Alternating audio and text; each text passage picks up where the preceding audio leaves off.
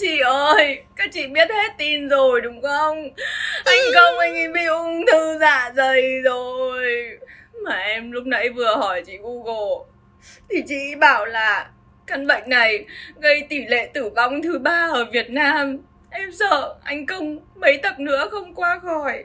Có chị nào mà rảnh báo cho chị Phương vợ anh ấy một tiếng. Về mà còn chăm chồng đi chứ còn ở đâu buồn nữa. rồi. Đi theo em, đi theo em Khổ lắm. Bây giờ cái cặp công với Phương nó gây trầm cảm cho khán giả suốt bao nhiêu ngày qua rồi. Bây giờ mình tập trung vào một chi tiết khác của trong phim đây này. Là cái gì?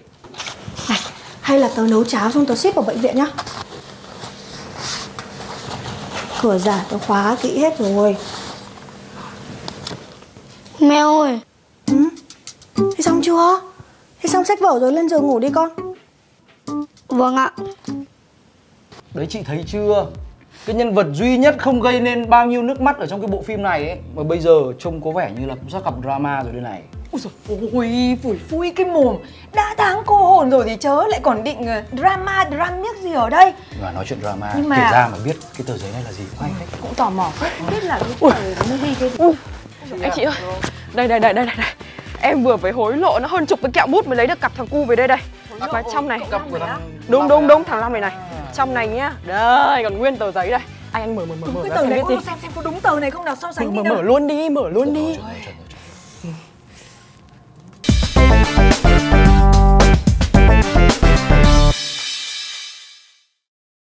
Trời ơi Xong chưa? Thoát vai chưa? Thoát vai chưa mọi người? rồi, thoát hết rồi. Vâng, quý vị và các bạn thân mến, bây giờ thì chúng tôi xin phép được thoát vai và trở về những người dẫn chương trình của Lướt trên VTV Go. Diễn biến mới nhất trong bộ phim Gia đình mình vui bất tình lình tối hôm qua thì đã lấy đi không ít nước mắt của khán giả và mọi người thì dường như là tập trung quá nhiều vào diễn biến của cặp đôi chính mà quên đi mất tâm tư tình cảm của cậu bé Long ở trong bộ phim. Chính vì vậy hôm nay chúng tôi muốn bàn về chuyện của cậu bé Long cũng là muốn bàn về 1001 nỗi khổ khi mà ờ, chúng ta đi học. Quay trở lại cái mảnh giấy gây tò Vẫn mò chưa biết trong này là cái gì anh ạ Biết cuối cùng thì nó là cái là gì nhỉ? cái gì thật. Theo Chi thì nó là cái gì?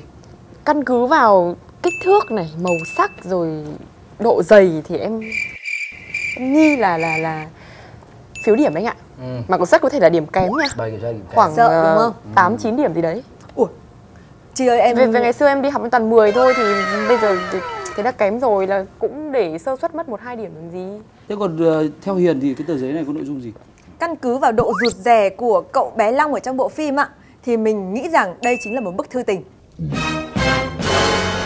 Chấn động chưa? Chấn động chưa? Rồi. Bởi vì là U7 đây, đã có thư tình à? đúng vào cái tầm tuổi như vậy ấy, thì học trò nó có cái tình cảm rung động là chuyện rất là bình thường thôi. Ờ, mình nghĩ là rất là có khả năng là là cảm mến một bạn bé gái nào đó ở trong lớp. Nhưng mà ờ, chưa dám nói ra nên là mới đem về nhà để nhờ mẹ tư vấn. Tân thì nghĩ nào? Thực ra thì ở cái tuổi đấy thì nếu mà bảo là báo thì có khi là cũng hơi sớm không? Nhưng mà dạo này trên phim VFC là có nhiều báo thủ cực kỳ luôn. À, Nói không chừng nha, dân chơi tuổi U7 này cầm giấy nợ, tiền chơi điện tử về để báo bố mẹ. Và nhân dịp chúng ta chọn học sinh quay trở lại trường học để làm chủ đề cho lướt trên VTV Go thì à, chúng tôi cũng đã xin phép các anh ở bên VFC cho chương trình được hé lộ một chút nội dung của phim chưa có trên TV nhưng à, sẽ có sau đây chỉ một ít phút nữa thôi. Và trong những nội dung đó thì tất nhiên là có nội dung của mảnh giấy này rồi.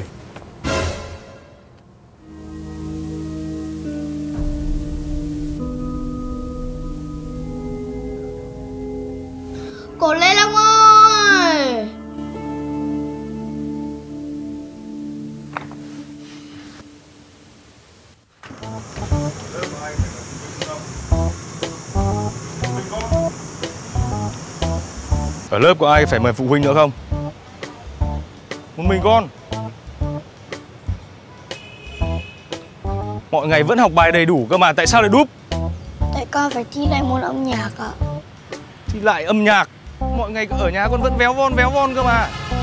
Bố ơi, hay là cho con học lại lớp 2 đi. Lại đi học lại lớp 2 chỉ vì môn âm nhạc à? Rồi. Ơi Tại sao lại đúp vào cái lúc nhà đang rối ren thế này hả con?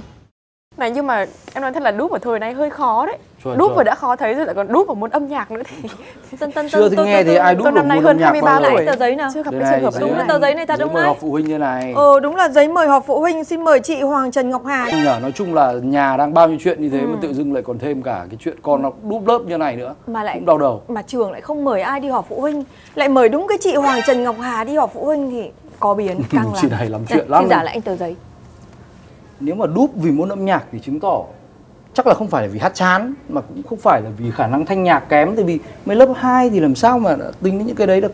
Khả năng cao là gặp vấn đề về về phát phát âm. Ờ, Hay là bị ờ, bị bị ngọng hả? ừ, kiểu, ý của Tân là như vậy đúng đúng, đúng không? đúng có có. Em nhớ hình như là có một cái cái, cái, cái đoạn mà hình như mà bố long dạy long nói đấy xong rồi cứ óng óng óng gì ấy, nhớ cánh đồng chờ. Chờ, chờ. Chờ. Chờ chờ gặt hái chín vàng màu ướp ong. Ước mong. Óng Ước thì nói mong. gì? Ước mong. Lại ướp nào? mong. Lại nào? Chín chín Vàng. vàng màu ước mong. Ra bố bảo. Đây là TR thì mình phát âm là chờ Chờ. Chờ. Còn CH là chờ. Chờ. Nhẹ thôi. Nào Trên. Trên Trên. Trên. Đừng có nhấn quá. Trên. Trên. Một lúc lại giờ quên đến mất. giờ phút này rồi con còn vẫn cứ đánh vần từng chữ một không nhận rõ mặt chữ à? Ngọng níu ngọng nô ở lớp con có nhiều bạn như này không? Không ạ cô bảo con là bị nặng nhất thôi ạ. VFC là rất tinh tế. Thế à? gần như là một cái nút thắt nào quan trọng ở trong bộ phim. Thậm chí là nút thắt nhỏ thôi không quá quan trọng. Thì các anh ấy cũng đều có những cái phân đoạn ở trước đó ở những tập trước gọi là những cái gợi ý đặt vào các Hé tập lộ, phim những cái lộ. gợi ý đúng không? Anh ha. công mà bị ung thư dạ dày thì anh những tập trước sẽ có những cảnh anh phải đau bụng gặp vấn đề về việc ăn uống đúng không? Còn bạn này mà đang có dấu hiệu về cái việc là có thể bị đúp về môn âm nhạc thì mấy tập trước cũng phải có những cái chi tiết như thế này thì mình ta, người ta mới đoán được đúng không? Nhưng mà mọi người có để ý không? Trên cái tờ giấy họp phụ huynh đấy ghi là bạn này học lớp 2 Học lớp 2 rồi Mà ông bố mới biết là con mình bị ngọng Thì thực ra là cũng phải xem lại ông bố này có, có đầy đủ trách nhiệm không đúng không? Tôi ừ, đặt tên cho anh là cái luôn. Nhưng mà mình cũng phải xem là người bố này như thế nào thì dạy con thì con mới cứ bị chờ chờ mới cả ước mong như thế.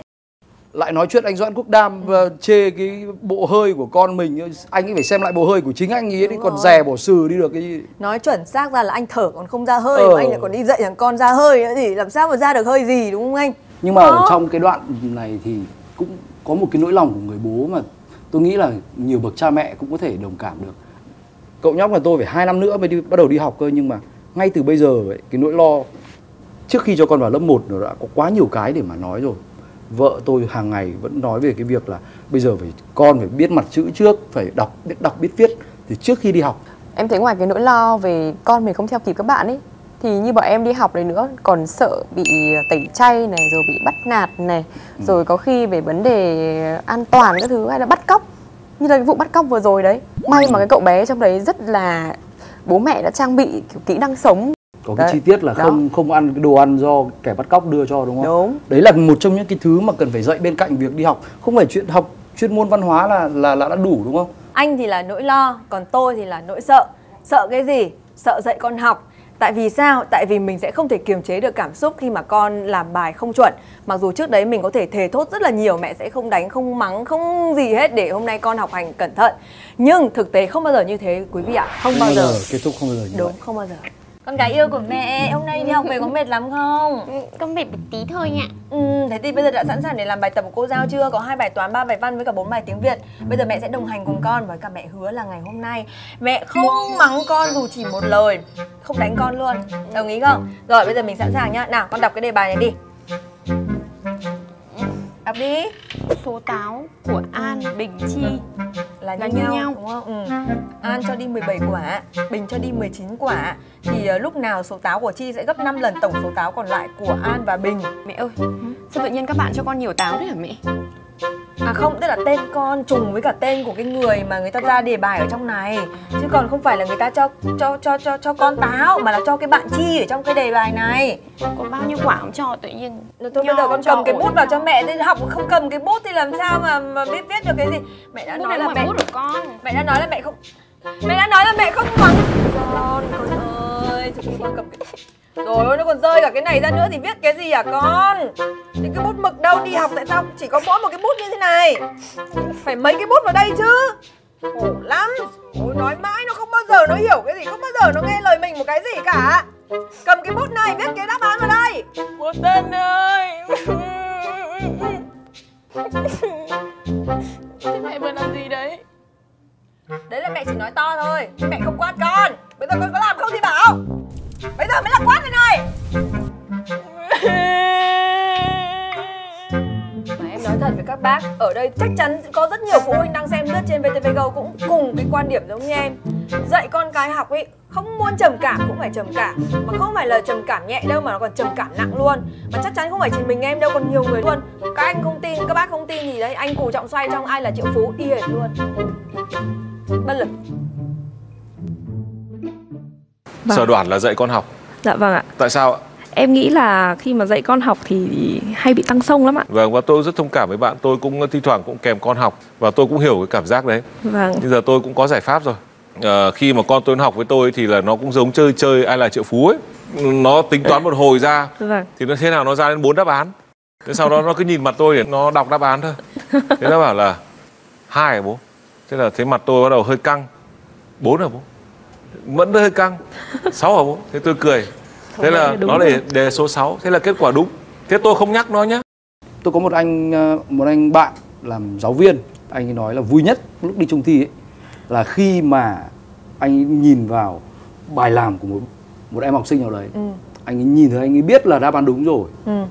nhưng mà anh quay ra với cả lớp câu hai là nhiều bạn trả lời sai lắm đấy nhá thế là như rằng đồng chí ấy là nếu mà nhìn bài bạn hoặc là một cách danh ma nào đó thì cực kỳ hoang mang có khi ngồi cả buổi chỉ vì cái câu đấy. Nhưng mà tôi nghĩ là cái anh bạn đấy của anh mà gặp tôi ngày xưa ấy thì có khi là cũng tắt điện.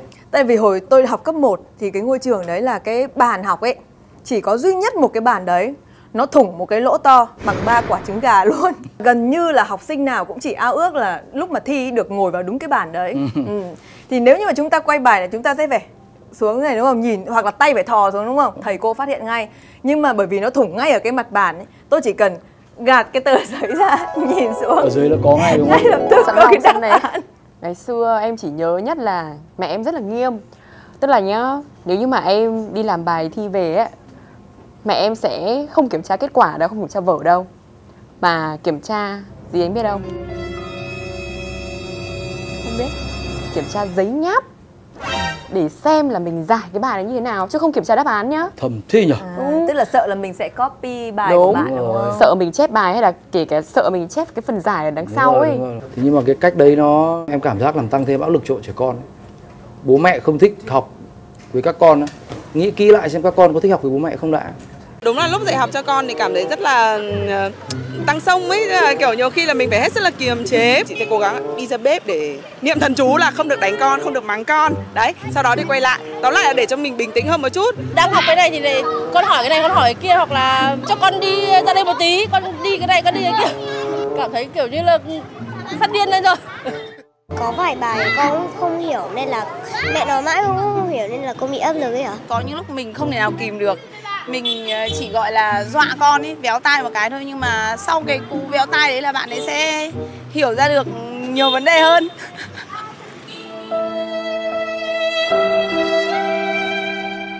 Khi con học cùng mẹ thì ờ, mẹ béo tai con đau quá thì ờ, con khóc ạ.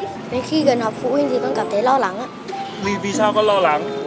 Vì con không biết là con có được điểm cao hay không hay là được bị được điểm kém. Khi học phụ huynh con hay thấy hơi sợ sợ, cầm tờ giấy thì con ờ, hay hơi hồi hộp đưa cho bố mẹ. Không muốn đưa. Không muốn đưa. mà phải học cùng bố mẹ và thứ hai nữa là đó là bố mẹ khi mà phải dạy kèm con cái trầm cảm thực sự là cái độ trầm cảm không khác gì nhau cả tương đương luôn một chín một mười. Cái mặt mình là nó thay đổi nhanh lắm các anh chị ạ. Thay đổi như thời tiết luôn. Nhân đây nếu như mà chương trình cho phép thì xin lỗi con nhé. Chứ tối nay về mẹ lại dạy con học tiếp. Trầm cảm mấy thì trầm cảm quý vị ạ. Thứ hai tới anh chị vẫn phải đưa con đi học đúng không? Thôi để giảm độ trầm cảm tăng độ hào hứng. Chúng ta hãy cùng nghe bài hát. Ánh nắng chiều lấp lánh qua hàng cây trong tim mình hát vang một khúc ca tràn thắp sáng những bước chân đầu tiên. Bao nhiêu mộng ước bao hoài bão. Ngày hôm nay cùng bên nhau đến trường đi trên con phố quen cùng nhau dưới mái trường. Tạo nên những tháng năm rực rỡ. Trường là nơi ta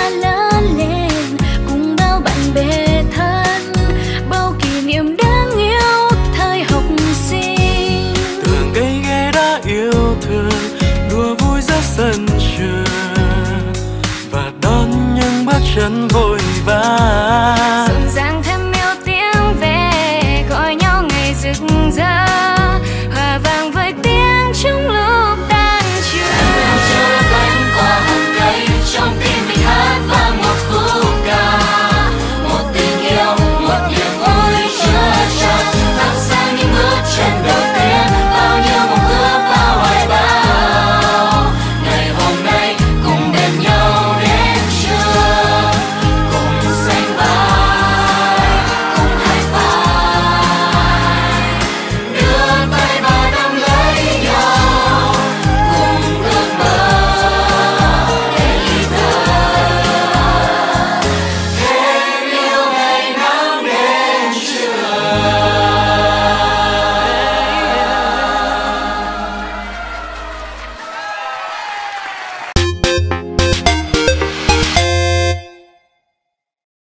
Trong các chương trình do Đài truyền hình Việt Nam sản xuất thì cá nhân tôi rất là ấn tượng với series chương trình Dám Sống vì chương trình đã giới thiệu đến khán giả rất nhiều những gương mặt dám dấn thân và đi đến cùng theo đuổi mục tiêu đam mê mà mình đã đặt ra.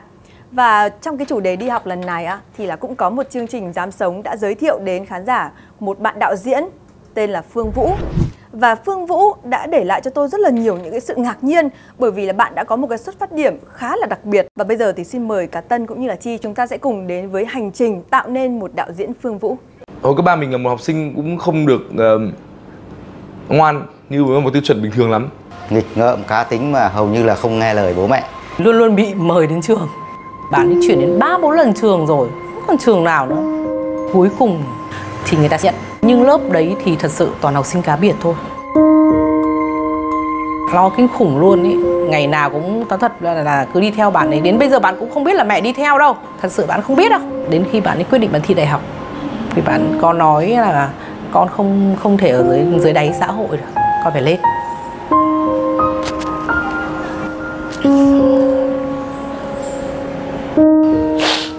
Nuôi bạn ấy quá vất vả thật sự và đồng hành cùng bạn cũng rất là vất vả.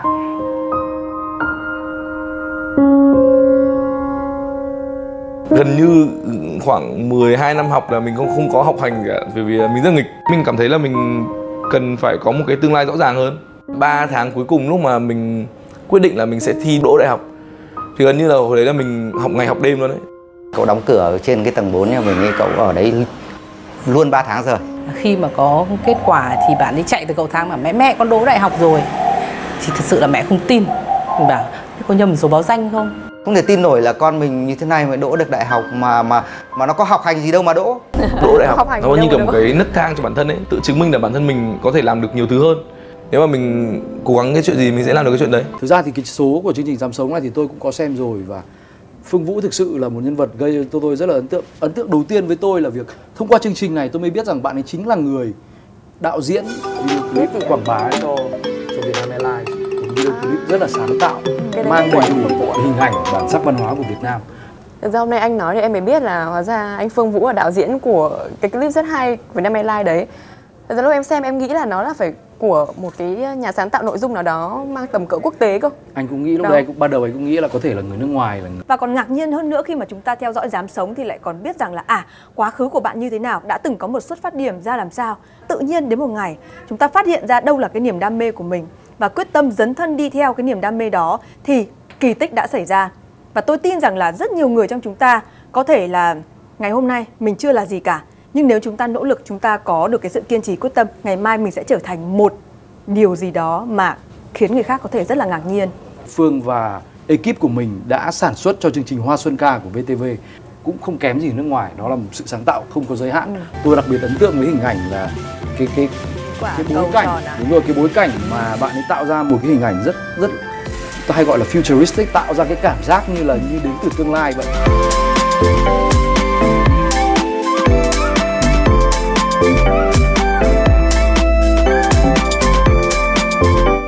Thể nói là một quá khứ cá biệt làm nên một con người khác biệt. với những tác phẩm đặc biệt.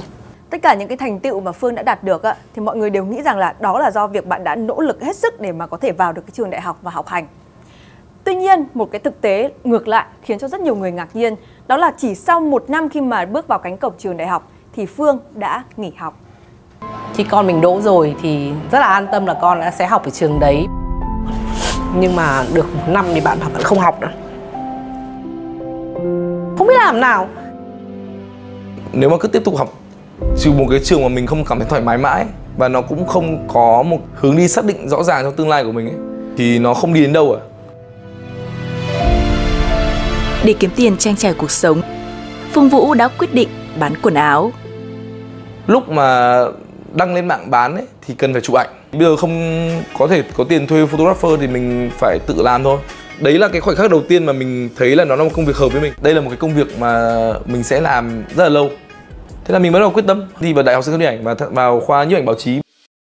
Ngưỡng mộ thật đấy. Ừ. thật sự là em thấy không phải ai cũng có cái bản lĩnh như anh này. Tức là anh ấy cảm thấy mình không thích cái lĩnh vực của mình đang học. Sẵn sàng nghỉ học chứ còn em nhiều lúc ví dụ học đại học em cũng thấy cái chuyên ngành có thể nó không phù hợp với mình chẳng hạn nhưng mà em không bao giờ dám suy nghĩ đến chuyện là nghỉ học luôn ấy bởi vì em nghĩ là bố mẹ em vẫn đang rất là kỳ vọng và đang rất là tự hào vì em theo học ở môi trường này Anh Tân ạ, thật sự nha, nếu như mà được lựa chọn ấy, anh muốn làm nghề gì nào? Thay vì là biên tập viên thể thao. bây giờ anh dám sống Chân dám nói đi. đi Thật à, hỏi thật Ừ, à? ừ, ừ. Nhưng mà em, em nói nhỏ thôi nhá Sao phải nói Nói nhỏ? nhỏ thôi Ca sĩ Gì? Cái gì?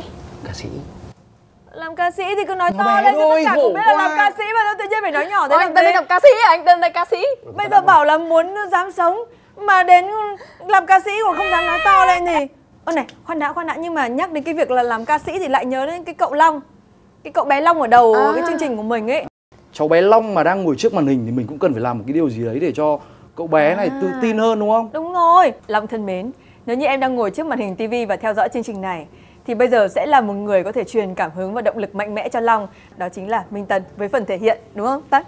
À, chú vẫn muốn à, nói với Long cái này chuyện Long ạ Tức là mình có nhiều lý do để mà bị đúp. Thì bị đúp cũng không sao cả Nhưng mà không thể để bị đúp vì không dám hát được. Ôi, Đó, trời Đây là chương trình dám hát. Đúng. Chuẩn luôn. Nhìn chú này Long này. chú. Bây giờ sẽ là màn giám đáp của biên tập viên Minh Tân. Chữ đập đau thế nhiều quá.